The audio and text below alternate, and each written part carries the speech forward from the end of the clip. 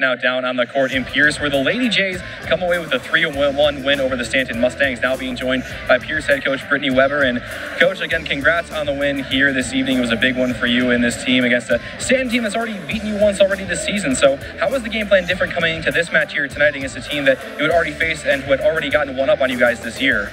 Uh, well, we knew coming in that Stanton, they're always well coached and well disciplined, so we knew we were going to have to bring it. Um, so I thought the girls did a good job bringing lots of energy and um, they executed well. And speaking about having to bring it and having lots of energy. That fourth set, it was so impressive how you guys were able to jump out to such a huge lead so early on. What do you attribute that set to and how you guys were able to put things away so so squarely in that fourth set? Um, I think this third set, winning the third set, we had that momentum going into the fourth.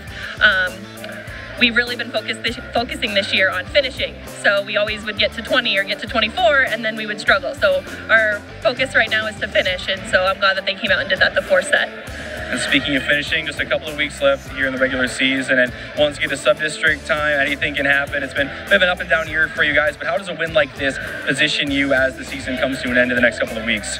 Um, I think it helps us a lot. Uh, we always talk about this season, you know, taking steps forward, and I definitely think that tonight was a step forward for us.